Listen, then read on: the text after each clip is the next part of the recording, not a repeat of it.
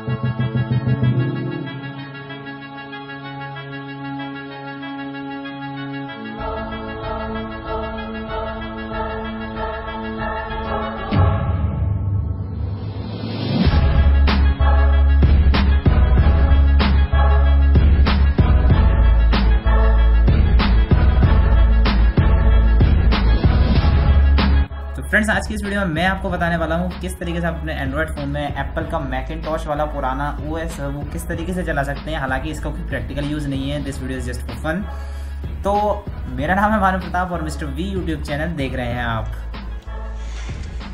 तो सबसे पहले आपको जाना है प्ले स्टोर में। प्ले स्टोर में जाने के बाद आपको एक एप्लीकेशन सर्च करनी है, जिसका नाम है Mini V Mac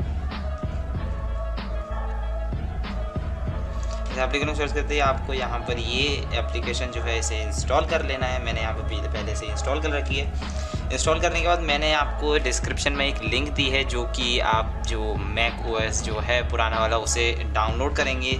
वो ओएस कोई ज़्यादा हैवी नहीं है, यानी आपको 1.5 पॉइंट में वो ओएस मिल जाएगा। तो आपको वो ओएस रार फ़ाइल में मिलेगा। उसे एक्सट्रैक्ट करने के लिए आपके पास एक अच्छा फ़ाइल मैनेजर होना चाहिए अपने पास। मैं यहाँ पर यूज़ कर रहा हूँ ई फ़ाइल एक्सप्लोरर तो यहाँ पर ई एस फ़ाइल एक्सप्लोरर में चलना है।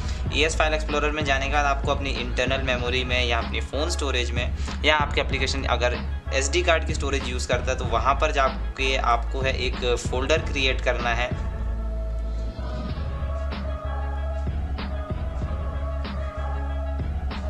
फोल्डर का नाम रखना है आपको Mini V Mac M I N I V M A C Mini V Mac नाम से आपको फोल्डर क्रिएट करना है।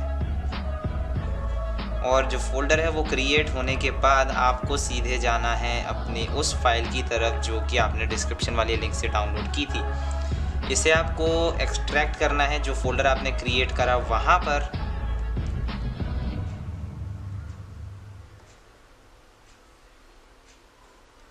यहाँ पर उस फ़ाइल को आप एक्सट्रैक्ट कर दीजिए तो सारी चीज़ें जो है वो एक्सट्रैक्ट हो जाएँगी।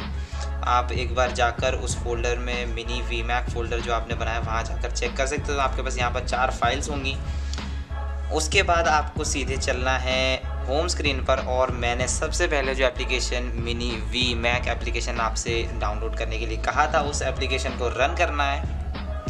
अलाउ कर देते हैं इसे परमिशंस। तो देखिए यहाँ पर जो है एक जो पुराना ओएस था वो आपका स्टार्ट हो चुका है लेकिन यहाँ पर जो है आपको आ, एक डिस्क को है, आपको यहाँ पर सिलेक्ट करना हो तो यहाँ पर सिलेक्ट डिस्क करते हैं। और यहाँ पर जो है नाइन एट नाइन्टी सिक्स के वाली जो डिस्क है, उसे आप सिलेक्ट कीजिए और ओके कर दी तो यहाँ पर जो है आप अपने डिवाइस के अंदर मैक ओएस जो पुराना मैक ओएस था मैक इंटॉश में आपको दिखने को मिलता है उसे आप चला सकते हैं।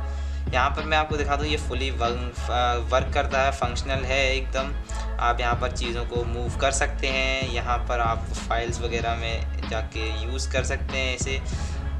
और बस पुरानी चीज़ों को यूज़ करने का कोई फ़ायदा तो है नहीं। यहाँ पर सिर्फ़ आप अपने एंटरटेनमेंट के लिए फ़न के लिए इन सब चीज़ों को कर सकते हैं। और काफ़ी अच्छा लगता है यहाँ पर पुरानी चीज़ों को चलाना और यहाँ पर आप इसे लैंडस्केप पर भी कर सकते हैं ताकि आप इसे यूज़ कर पाएँ।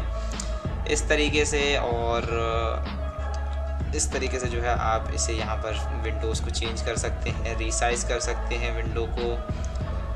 और बस यही है, इस तरीके से जो है आप अपने डिवाइस में मैक ओएस को चला सकते हैं। तो फ्रेंड्स, आज की वीडियो में इतना ही। आई होप वीडियो आपको पसंद आई होगी और काफ़ी इंटरेस्टिंग लगी होगी वीडियो। अगर आपकी वीडियो पसंद आई तो ज़रूर इस वीडियो को यार लाइक करना ना भूलें और सब्सक्राइब कीजिए मेरे चैनल को। लाल कलर का नीचे सब्सक्राइब बटन मिलेगा, जैसे जमा से मेरे चैनल सब्सक्राइब होगा।